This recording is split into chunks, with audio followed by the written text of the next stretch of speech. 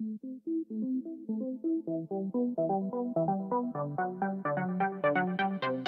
welcome my friend and then I am planning to give you information that how I can adjust my Toyota Corolla cars this clutch pedal movement.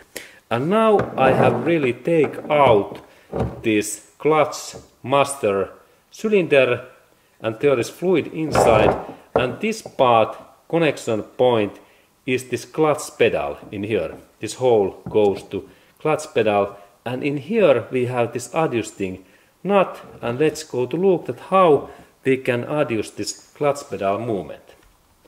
Okay, and then that how I can adjust my clutch pedal movement.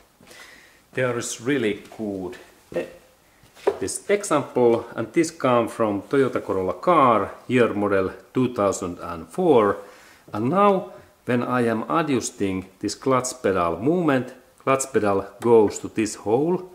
There is this nut and I need now 12 millimeter wrench what fits in here.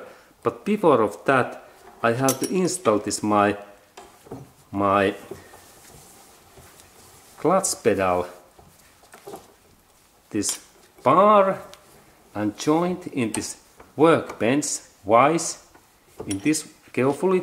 And then I install my tool in here. And now when I open this lock lock bolt okay now it moves. I have to install this part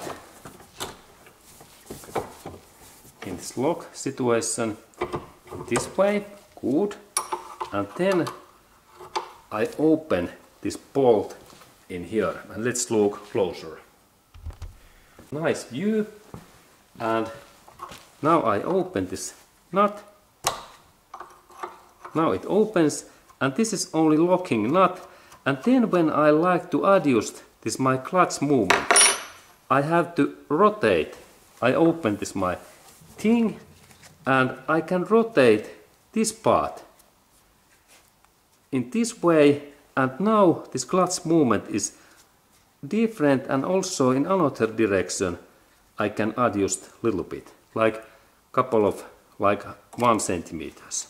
And then when I have changed this like in this position final step is that I carefully lock that situation and then this lock nut I fasten this lock nut in well in this way. Good.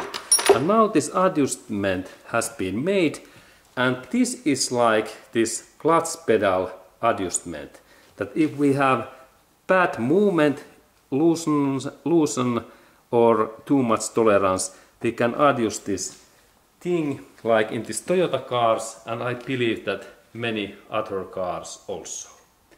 Good, that kind of information to you my friend and see you in next movie.